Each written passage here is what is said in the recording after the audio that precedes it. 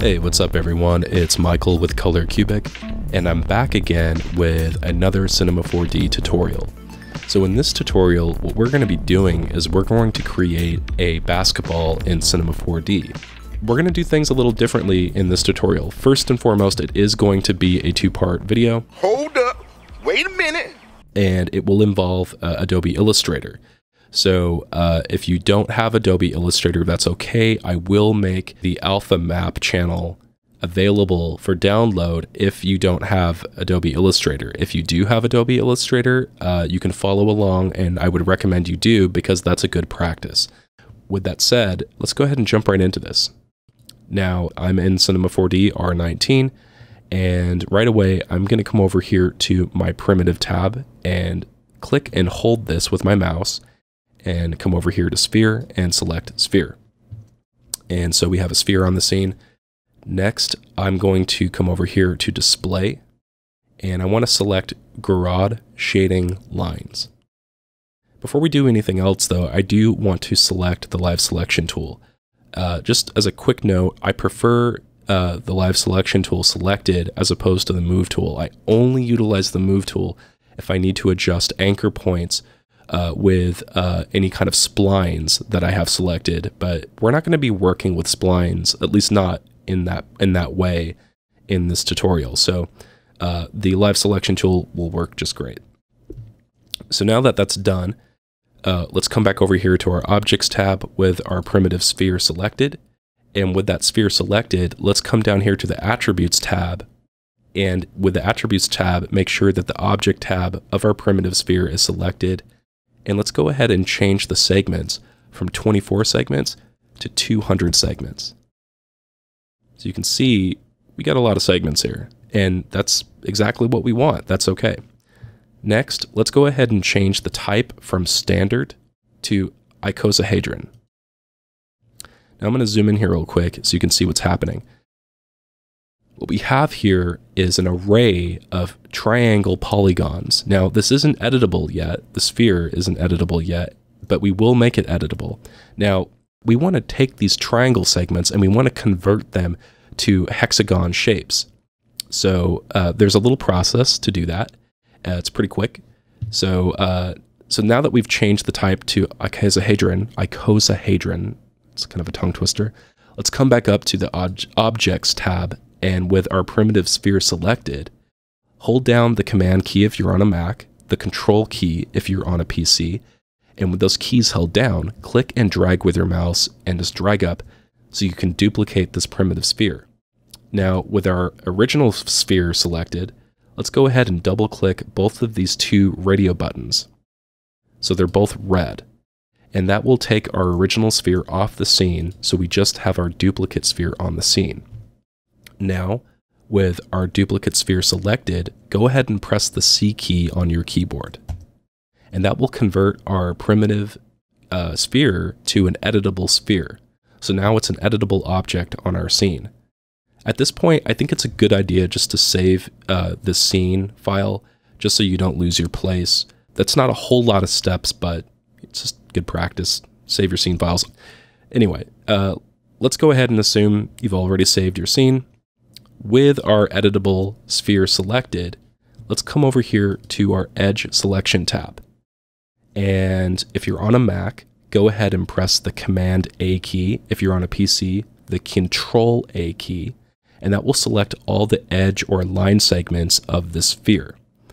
Now, let's come up here to Mesh, Commands, and let's come down here to Subdivide, and let's click this little cog gear and that will bring up the subdivide menu. Now right away, we want the subdivision to be 1. Let's go ahead and check smooth subdivision. And maximum angle, let's keep that at 180 degrees. And just click OK. Now I'm going to zoom in here a little bit closer. You can see what's happening. You can see these hexagonal shapes that appeared. Now that's exactly what we want. Now the next step is we need to get rid of this triangle polygon uh, edge array that's making up our, uh, our, our editable sphere. So the next step is what we want to do is hover over our point selection tab. Now, before you select this, If you're on a Mac, hold down the command key. If you're on a PC, hold down the control key. And with those keys held down, press the point selection tab. And what it'll do is it'll highlight and select all of the points of the triangle polygons that we have selected in our edge selection tab. So now that we've done that, let's go back to our edge selection tab. And with our, uh, with our edge selection tab, let's right click on our object and let's come down to melt and select melt. So depending on, uh, you know, what your processing power is like, uh, it may take a little minute to do this. So with that said, uh, you can see the results we got. Now we have a mesh of uh, hexagon polygons that are making up our sphere instead of uh, triangle polygons. But there's still a problem. And let's go back to our point selection tab. You can see that those uh, points that made up our triangle mesh are still selected. But because they've been selected and retained, that selection is retained, we can just delete these off the scene. So let's go ahead and just press delete. And there we go, cleaned up.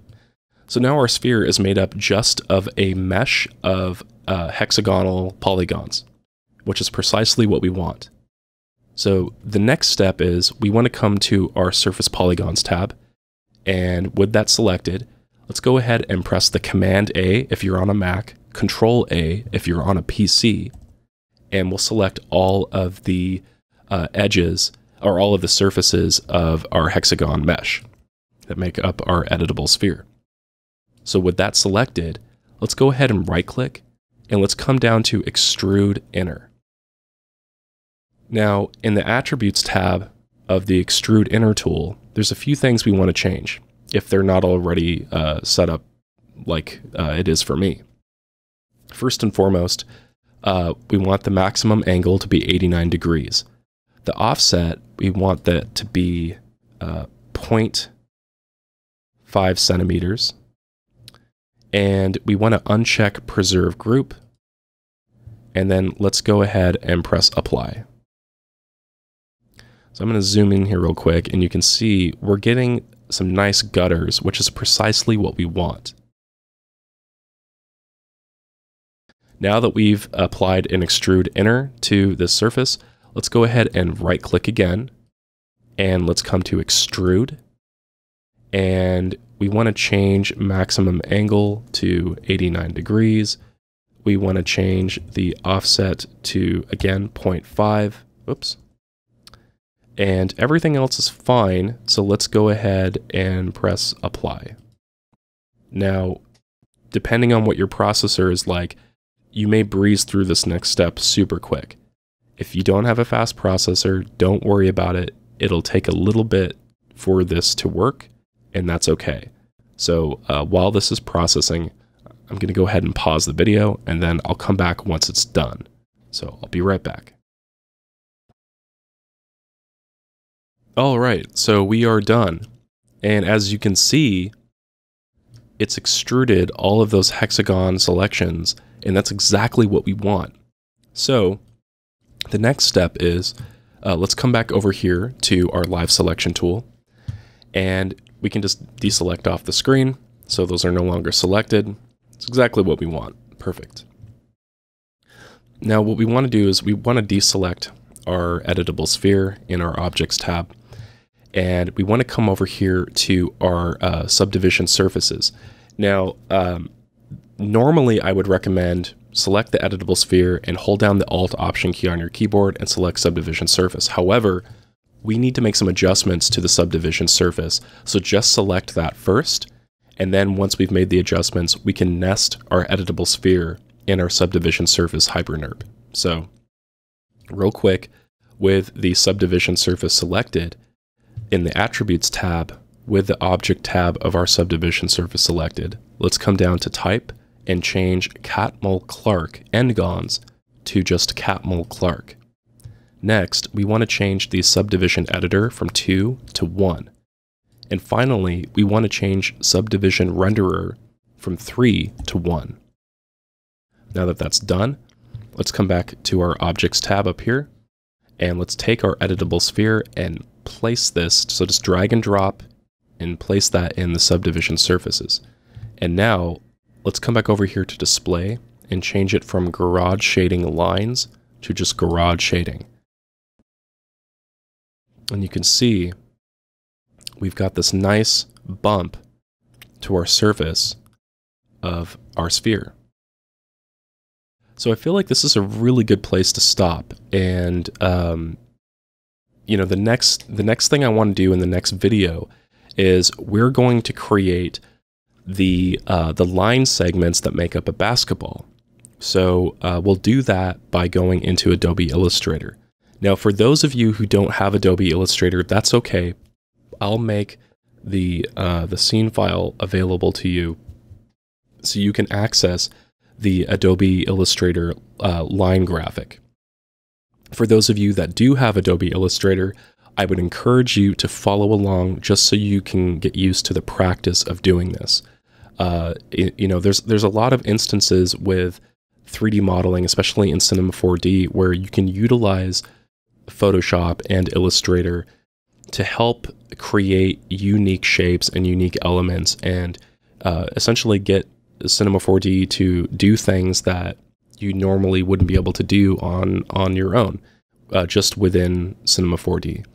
Uh, with that said, if you like this video, don't forget to like and subscribe.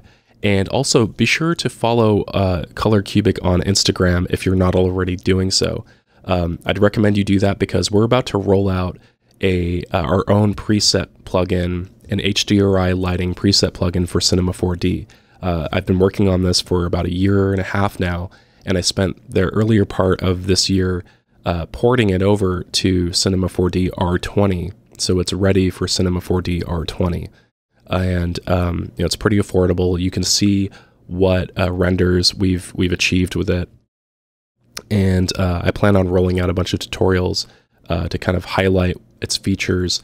You know, it, it's interesting because I've I've I've got a lot of comments of people asking how I achieve the renders I do and the thumbnails of these videos, and I exclusively use uh, our preset plugin, our HDRI lighting preset plugin, Scene Light. So if you want to see the results, you can check it out on the Colorcubic Instagram account. And uh, again, if you haven't already subscribed to the channel, be sure to subscribe to the channel so you can get a notification of when those tutorials drop and of course when the product is officially released. With that said, uh, thanks again for watching and I'll see you next time.